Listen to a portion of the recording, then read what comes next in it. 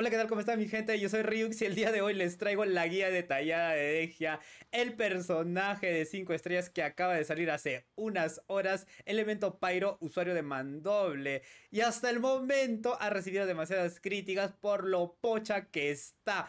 Pero aún así vamos a entrar en detalle en este personaje para ver con qué arma va bien, qué set de artefactos combinan con ella, las estadísticas a tener en cuenta, las habilidades, los talentos pasivos para priorizar en este personaje. Y sin más que decir, empezamos. Empezamos con los ataques normales. Hace una serie de cuatro golpes, el cual combina mandoble y artes marciales. El cuarto golpe lanza un puñetazo como se observa y manda a volar a los enemigos. Y los ataques cargados consumen aguante para hacer daño. Y como podemos apreciar aquí tenemos las estadísticas al nivel 4, 79, 78, 98, 121 el cuarto golpe y el cargado 72.1. La habilidad elemental hace daño pyro en área al invocarlo y crea un cerco en área. Ahora, si es que antes de utilizar la habilidad elemental no hay ningún cerco, entonces lo que hace es presionas una vez la elemental, crea el cerco, luego presionas nuevamente la elemental y haces daño pyro en área. Por otra parte, si existía un cerco antes de utilizar la elemental, lanzas la elemental, hace daño de salto, inflige daño pyro en área y crea un cerco nuevo en el lugar de caída. Este cerco hereda el tiempo de duración del anterior, o sea, tendría el tiempo de duración del nuevo cerco, que serían 12 segundos, más el que le restaba al anterior. Ahora, si el enemigo en el área del cerco recibe daño, este recibirá daño adicional pyro en área. Esto ocurre cada 2.5 segundos. También los personajes que están dentro del área del cerco tienen una resistencia a interrupción, como se puede ver acá. Ahora, si los personajes reciben daño, esto se irá mitigando hacia Degia. Y aquí podemos observar en detalle las estadísticas del nivel 6 de la habilidad elemental. Cuando no existe ningún cerco, el daño de la habilidad elemental es de 158%. Esto se calcula en base al ataque, al bono daño pyro, la probabilidad y el daño crítico. Y por otra parte, eh, si es que existe un cerco, el daño de salto es de 185%, también igual que el anterior.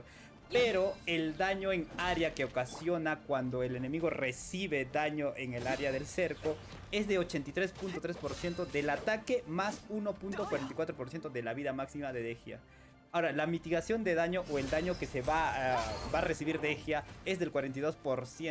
Porcentaje máximo de sangre de León, o sea, cuánto daño va a recibir es 200% de la vida máxima de Degia, o sea, el doble. Duración 12 segundos, tiempo de recarga 20. Ahora, la habilidad definitiva incrementa la resistencia a interrupción y lanza puñetazos que hacen daño pyro en función al ataque y la vida máxima de Degia. Al terminar la habilidad definitiva lanzará una patada incineradora que inflige daño pyro en área en función al ataque y la vida máxima de Degia. Ahora, si al activar la definitiva existía un cerco en área, este será retirado hasta que acabe la habilidad definitiva.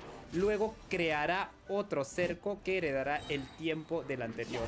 Ahora, bajo los efectos de la habilidad definitiva no se puede utilizar la habilidad elemental, tampoco los ataques normales cargados ni descendentes.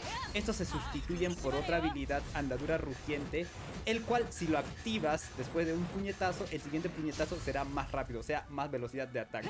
Y aquí tenemos las estadísticas de la habilidad definitiva al nivel 6 como vemos, eh, los puñetazos se calculan en base al ataque y a la vida máxima de Degia. Eh, también el último golpe.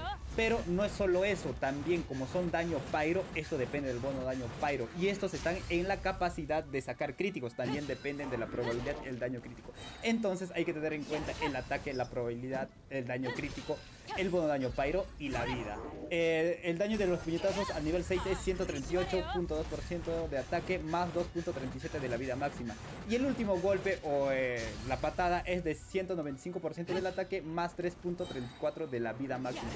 Dura 4 segundos, es muy corto, tiene un tiempo de recarga de 18 y una energía elemental de 70. Primer talento pasivo nos indica que si retiramos un cerco mediante la habilidad elemental o la definitiva, el daño que se mitiga hacia Degia se reduce hasta un 60% durante 6 segundos. Este efecto puede activarse una vez cada 2 segundos. También si es que retiramos un cerco de ingenio mediante la habilidad elemental, se les va a otorgar más resistencia a los personajes que estén dentro del área del cerco. Talento pasivo 2. Cuando la vida de Degia está por debajo del 40%, esta recupera vida en una cantidad equivalente al 20% de su vida máxima. También los siguientes 10 segundos recupera vida cada 2 segundos en una cantidad equivalente al 6% de su vida máxima. Este efecto solo puede ocurrir una vez cada 20 segundos. Y después de toda esta información podemos estar haciéndonos una idea de a qué talentos darle prioridad. En este caso, la definitiva sería de alta prioridad, incluso se sería una corona. Luego vendría la habilidad elemental y los básicos los podemos dejar porque la mayor parte de daño viene de la elemental y de la definitiva. Ahora, si lo llevas con un Bennett C6 y quieres dar golpes Pyro, en ese caso sí valdría la pena subir los ataques básicos. Y con respecto a los set de artefactos, el día de ayer en el directo hicimos todo tipo de pruebas con reloj de vida, con geoarmada, con bruja carmesí, todo y con los que mejor resultado obtuve fue con cuatro piezas de emblema del destino y cuatro piezas de bruja carmesí.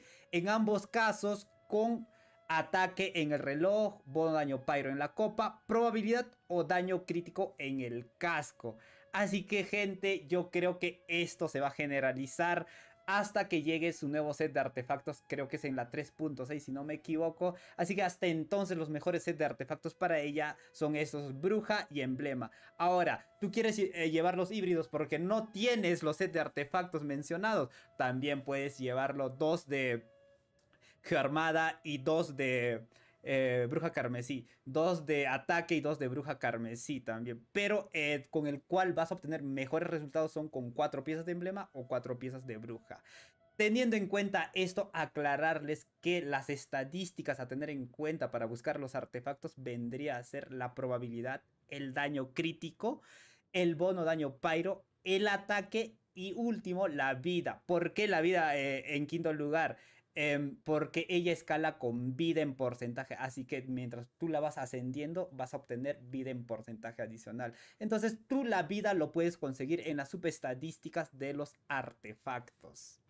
Ahora te preguntarás con cuál set de artefactos vas, con emblema o con bruja. La respuesta está en cuál de los dos sets tienes mejores estadísticas. En este caso yo tengo con el de bruja carmesí una vida de 24k, 2.2 de ataque, una maestría de 19 y aquí tengo 55 y 136 de daño crítico y con cuatro piezas de emblema del destino llego a tener 23k de vida, ataque 2.2, maestría elemental de 75 y eh, tengo una probabilidad de 53 y de 153 de daño crítico. Tengo un poco más de daño crítico. Así que eh, en este caso yo me quedaría con cuatro piezas de emblema del destino. Voy a hacer un poquito más de daño. Obviamente a tener en cuenta que el Bruja Carmesí amplifica más el daño de las reacciones elementales de derretido en este caso o vaporizado.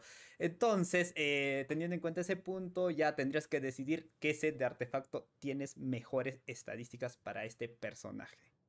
Ahora, fuera de todo esto, también lo estaba probando con Brugeon, llevándole cuatro piezas de flor olvidada a pura maestría elemental. Y al parecer no me llegó a convencer tanto, ya que eh, se demora tanto en aplicar el Pyro.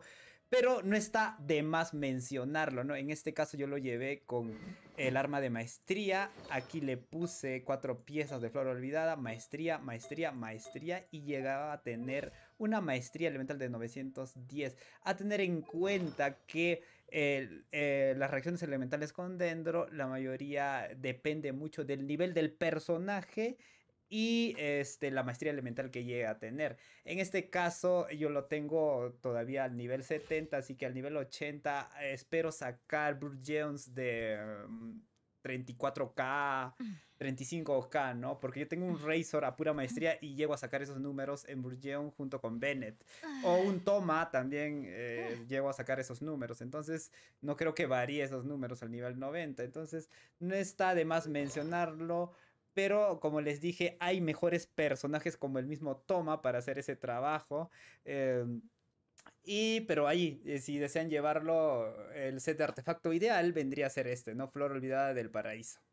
Ahora, con respecto a las armas, para no perder el tiempo, aquí te dejo una lista de armas con prioridad de izquierda a derecha. En la parte superior tengo las de 5 estrellas. Obviamente la primera es su arma, ya que con ella sale promocional y aprovecha al 100%. Y en la parte inferior tenemos la de 4 estrellas. Te preguntarás por qué consideras la de Favonius, ya que lo estaba probando y tenía dificultad en recargar energía para la habilidad definitiva, que por la naturaleza del personaje la definitiva es lo que hace mayor daño, entonces tú siempre quieres tener cargada la definitiva, entonces en este caso eh, me voy por la de Fagonis, pero si te hace falta probabilidad o daño crítico, puedes irte por la del pase o la del peñasco oscuro, también tenemos el de la pesca que la mayoría debería tener que amplifica el daño de la definitiva. Ahora, una de las características que sí me decepcionó bastante de este personaje es que bajo los efectos de la definitiva, los puñetazos se consideran daño de habilidad definitiva, no de ataques normales. Entonces no se va a poder activar la habilidad definitiva del Sinkyu, de la Yelan ni de la Beido, ya que con estos te restringen bastante para poder hacerlos vaporizados. O también si lo quieres llevar de Burgeon, también te va a restringir. Con ella aplicas Pyro y si se activaría esas habilidades, con el hidro podrías estar creando semillas para poder activarlos con los puñetas, pero no quisieron, así que lo restringieron horrible. Ahora, con respecto a composición de equipos, yo ya estoy probando bastante en el abismo este personaje y con los que mejores resultados he obtenido es con el de derretidos. Obviamente junto a Bennett, ya que nos va a dar supervivencia por el healing que tiene. Eh, la pasiva de que nos cura cuando tenemos menos del 40% de vida no es suficiente. El Bennett apoya bastante y también hacemos consonancia Pyro. Ahora, un personaje control de masas es ideal con 4 de sombra verde para reducir resistencias. En este caso yo tengo a Kazuha, tú puedes llevar al que tengas, sería una sacarosa. Ven, Kazuha es la mejor opción pura maestría para amplificar el daño Pyro. Y eh, a la Rosaria, si es que no tienes Rosaria, puedes llevar una Gaño. Una Gaño creo que es ideal porque abarca más áreas su habilidad definitiva. También podría ser una Laila, ya que aplica Crío para que te habilita los derretidos, ¿no? Y te da escudo. Eh, un Kaeya, una buena alternativa. Entonces también he estado probando una especie de vaporizados junto a Mona o Kokomi o el mismo Ayato con la definitiva que tiene un área enorme de, de aplicación de hidro. Entonces por el momento estoy solo con esos equipos. El Burgeon como les dije ya lo probé y sí me fue un poco mal. No es tan buena que digamos, bueno tal vez más adelante consiga habilitar otro equipo para que brille más en esas reacciones elementales pero hasta el momento donde más eh, destaca es en derretidos. Y bueno gente, espero que esta guía de Degia detallada te sirva para tener una idea de cómo es este personaje, cómo llevarle a qué set artefactos, qué armas, qué estadísticas, habilidades a tener en cuenta. Y no cometas errores, ¿no? Entonces yo me despido gente, espero que les sirva, si te gustó puedes compartir, seguirme en todas mis redes, ahí aparece, nos vemos en el siguiente video o en los directos, chao.